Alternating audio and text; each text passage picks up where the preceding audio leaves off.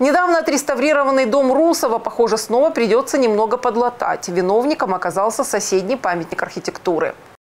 На углу, где стыкуются два исторических здания, обвалился небольшой кусок стены дома Либмана. Падая, обломок отколол часть фасада дома Русова. Это уже не первая досадная неприятность после реставрации. В мае возле центральной арки дома Русова появился глубокий провал, а на проезжей части провалилась старинная брусчатка. Реставрация исторического здания обошлась городскому бюджету в 149 миллионов гривен, и деньги продолжают выделять. В апреле на реконструкцию инженерных сетей внешнего электроснабжения направили более 6 миллионов 600 тысяч гривен из городской казны.